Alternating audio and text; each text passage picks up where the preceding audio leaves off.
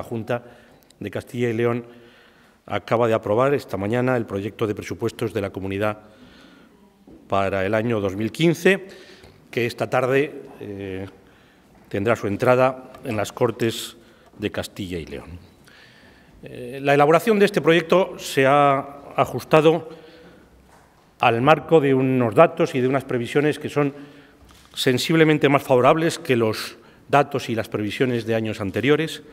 y también de unas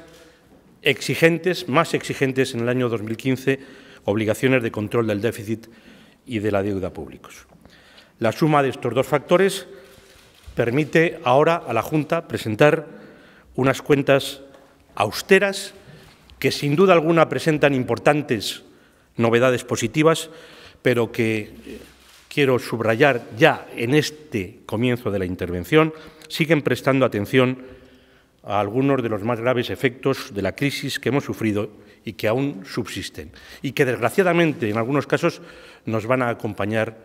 eh, por bastantes años. Hablo de unas tasas altas de paro y una muy lenta recuperación del empleo y también de la notable debilidad de la demanda interna. En efecto, los últimos datos y previsiones de los que disponemos confirman para este 2014, en un escenario en el que desde luego no faltan incertidumbres económicas y también políticas internas y externas, el cambio de tendencia y el inicio de la recuperación de nuestra economía. Y esos mismos datos y previsiones apuntan para 2015 una mejoría de la situación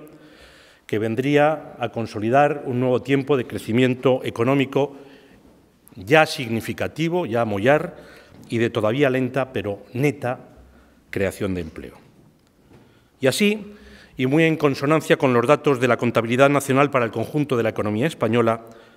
los de nuestra contabilidad regional del segundo trimestre de 2014 señalan un crecimiento interanual del PIB de Castilla y León del 1,3% y del 0,6% intertrimestral. Y los indicadores que vamos conociendo, correspondientes al tercer trimestre del año, adelantan un crecimiento positivo en el conjunto de 2014 más intenso del inicialmente previsto, que les recuerdo era del 0,7%. Este cambio de tendencia sobre los años anteriores se fundamenta sobre todo, y este es un dato bien positivo, en la fortaleza que está demostrando nuestro sector industrial, que ha liderado a nivel nacional los datos de producción industrial y de exportaciones durante los siete primeros meses del año. Destaca también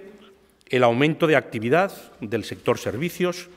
que vendría a compensar el descenso anual previsto para las producciones agrícolas y también la nueva caída, aunque menor este año, de la construcción.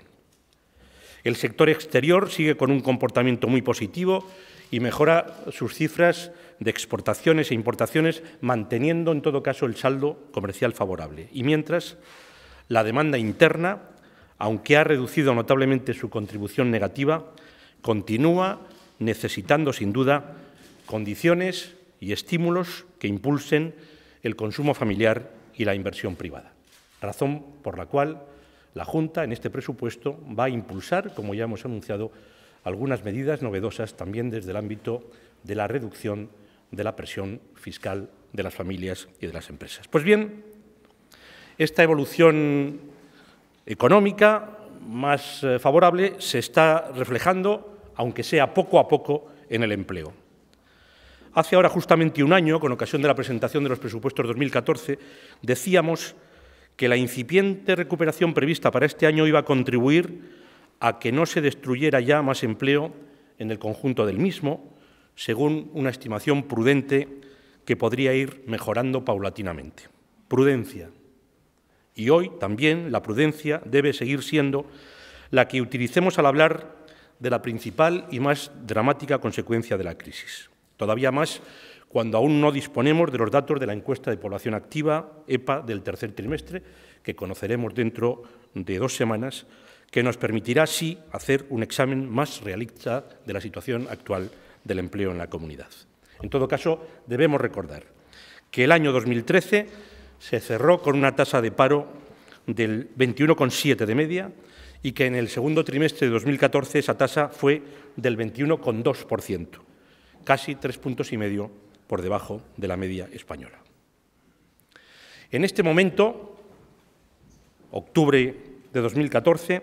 hay en Castilla y León 22.275 parados registrados menos que hace un año, octubre de 2013. La evolución de 2014 está siendo sin duda positiva. El paro registrado creció por última vez en el mes de enero y desde entonces ha encadenado ocho meses consecutivos de descenso, incluido el pasado septiembre, mes que junto con octubre y con el citado enero son tradicionales en el crecimiento del paro. De esta manera, en lo que va de año, desde enero de 2014, la comunidad cuenta con 31.400 parados menos y lo que es más importante, lo que es muy significativo, con 34.401 afiliados más a la seguridad social. De esta manera, y sin olvidar en ningún momento las altas tasas de paro actuales, los datos que acabamos de exponer permiten anticipar que el empleo va a tener en 2014 un mejor comportamiento que en 2013 y que en 2015 el crecimiento económico esperado y las propias políticas de apoyo al mismo se traducirán ya en creación neta del empleo tan necesario y en el consiguiente descenso de las tasas de paro. Pues bien, con arreglo a todos estos datos y previsiones sobre la evolución de la economía y del empleo, se ha definido el escenario macroeconómico del proyecto de presupuestos de la Comunidad para 2015, que ha tenido también muy en cuenta las estimaciones del propio Gobierno de la Nación, contenidas en los presupuestos generales del Estado, así como las estimaciones de las instituciones internacionales y de los distintos servicios e informes económicos disponibles. Y en este sentido, hemos procedido, en primer lugar, a actualizar y mejorar las previsiones para el presente año 2014, estimándose para el conjunto del mismo un crecimiento interanual del PIB del 1,4%, una tasa de paro media anual del 20,9%, un crecimiento del empleo de un 0,2% en media anual este año, entendido ese porcentaje en relación a puestos de trabajo equivalentes a tiempo completo, es decir, 365 días del año, ocho horas diarias. Y, finalmente, un déficit público, en todo caso, ajustado al objetivo del menos 1% del PIB. Y para el próximo año, 2015, para el año al que se refiere el proyecto de presupuestos que hoy hemos aprobado, las previsiones son de un crecimiento del PIB regional del 2,1%, una tasa de paro media anual del 19,8%, un crecimiento del empleo del 0,9% y un déficit público ajustado al objetivo del menos 0,7%. Y es que, como indicábamos al principio, la elaboración de este proyecto de presupuesto se ha ajustado, además de las previsiones económicas y de empleo a las que me he referido anteriormente, a nuestras estrictas obligaciones de control del déficit y del endeudamiento públicos. Un esfuerzo que, como todos ustedes saben, venimos haciendo durante los últimos años y que vamos a mantener, desde luego, en los presupuestos 2015. El acuerdo del Consejo de Política Fiscal y Financiera de 31 de julio pasado fijó un objetivo igual de déficit para todas las comunidades autónomas del menos 0,7% del PIB para 2015, aprobado después por el Consejo de Ministros del 12 de septiembre. Conforme a ese límite, se ha elaborado el proyecto de presupuestos que ahora presentamos. He de informarles también que para su cálculo ya se ha tenido en cuenta la reciente revisión por el INE del PIB nacional para adaptarlo a una nueva base y la consecuente revisión del PIB de todas las comunidades autónomas. En el caso concreto de Castilla y León, unos 1.370 millones de euros más para el PIB regional de 2013, que pasaría así de 53.478 millones de euros a 54.000 848 millones de euros. Castilla y León cumplió en 2012 y en 2013 con sus obligaciones de consolidación fiscal. En el año 2013, último ejercicio cerrado, finalizamos con un déficit del menos 1,18% del antiguo PIB, sin revisar, que equivale al menos 1,15% sobre el PIB actualizado, y ello sobre un objetivo del menos 1,27%. En el ejercicio actual, los datos del Ministerio de Hacienda determinan que Castilla y León presentaba a 31 de julio un déficit del menos 0,5% del PIB. Esto es la mitad de la media de las comunidades autónomas. Y según las estimaciones de nuestra intervención general, a 31 de agosto el déficit era del menos 0,6%. Esto es en la senda del cumplimiento del objetivo anual del menos 1%. Cumplir los objetivos de déficit es una tarea complicada que ha requerido sin duda importantes sacrificios para todos y exigirá aún muchos esfuerzos. Piénsese que en el presente ejercicio hay que reducir el déficit en más de un 20%. Seguiremos trabajando hasta el último día para cumplir con este compromiso, algo que, sin embargo, no está exento de grandes dificultades, especialmente por la continua presión al alza del gasto público sanitario.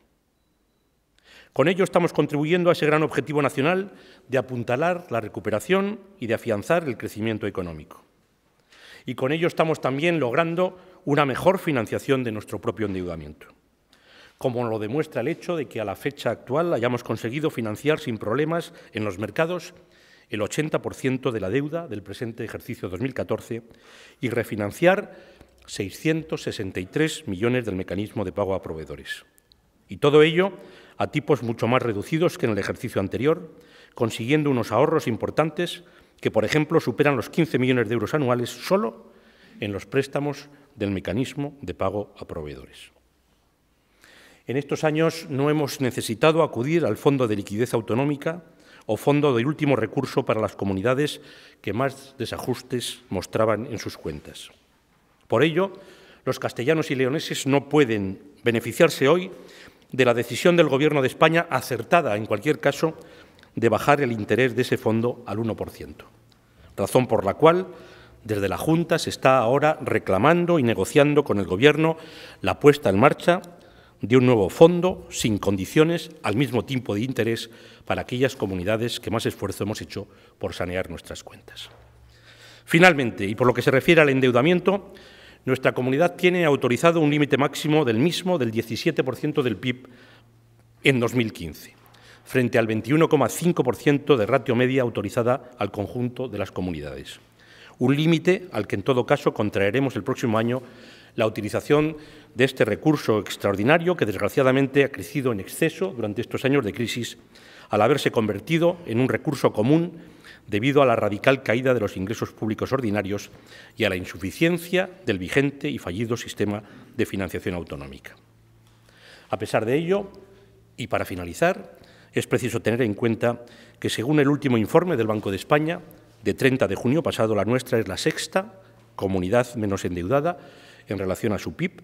17,1%, más de 4,5 puntos por debajo de la media, un porcentaje que se reducirá de aquí al final del año por el efecto de determinadas amortizaciones pendientes. Es también la sexta con menor deuda viva por habitante, datos que revelan una correcta, aunque difícil, gestión financiera que además ahora está siendo capaz de aprovechar, como he dicho, positivamente las ventajas de la reducción de la prima de riesgo española y de los tipos de interés.